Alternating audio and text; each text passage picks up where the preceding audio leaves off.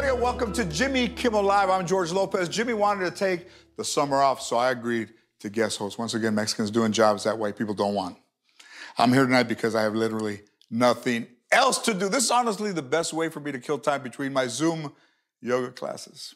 And it's nice for a Mexican to be invited to a mansion in Hollywood and not have to trim the hedges.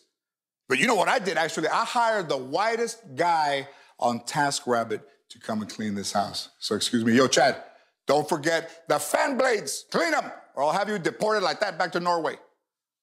I used to host a late night show myself. It was called Lopez Tonight. It's been a few years, but you know they say that hosting late night shows like riding a bike, which we do because we've had too many DUIs. Oh, I have. We're gonna have a lot of fun tonight. Well, I know Alma had a lot of fun. For all, for all I know, you probably saw my hair and changed the channel 10 seconds ago.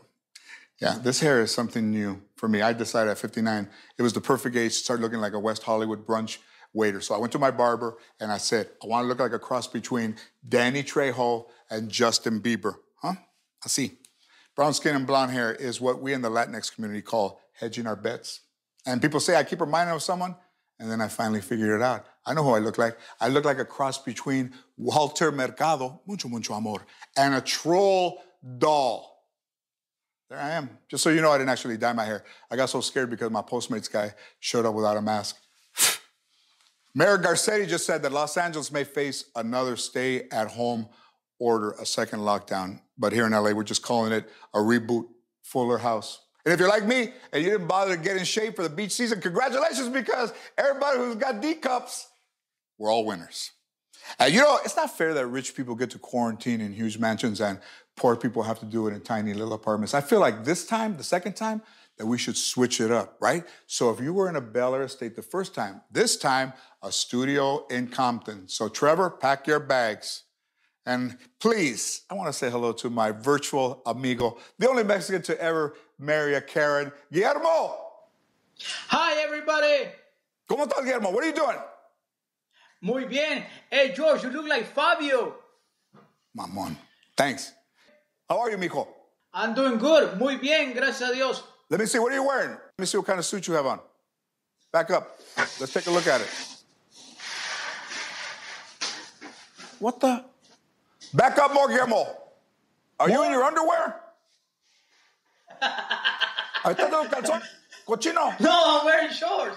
Sure. Oh, thank God. Okay. No, you don't have to spin. But that's that's good. Don't spin, please. So how have you been handling the quarantine, mijo?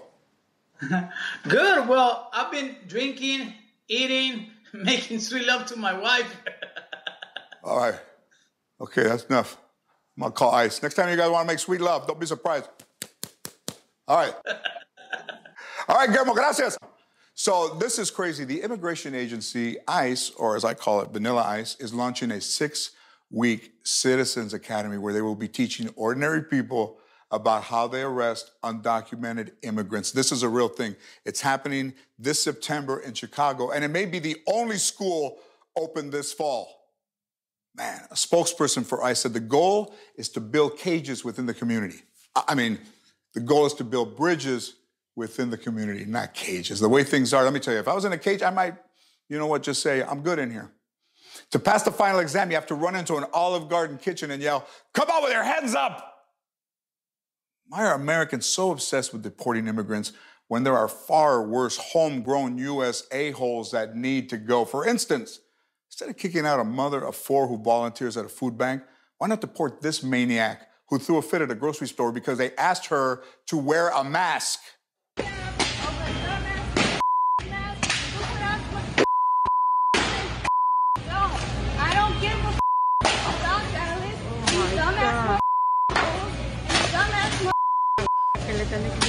And they say all the good ones are taken.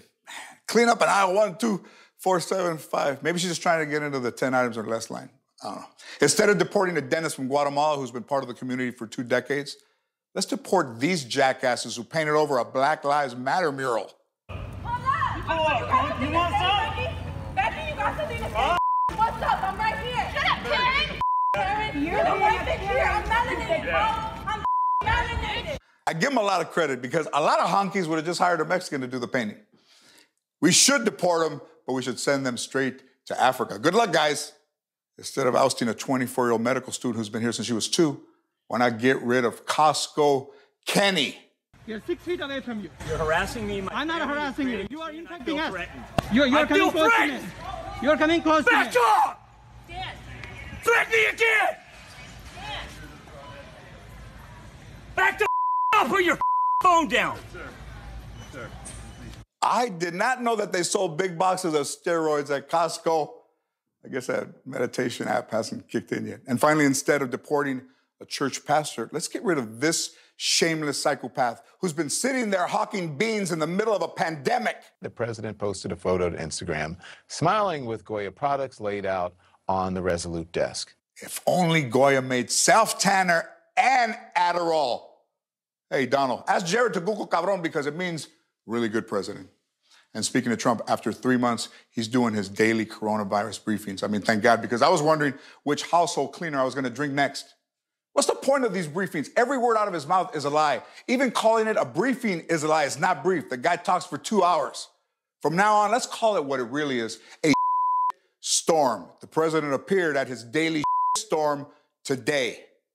But somebody explain to this goofball that the sooner he takes the virus seriously, the sooner he can get back to doing stand up at monster truck rallies.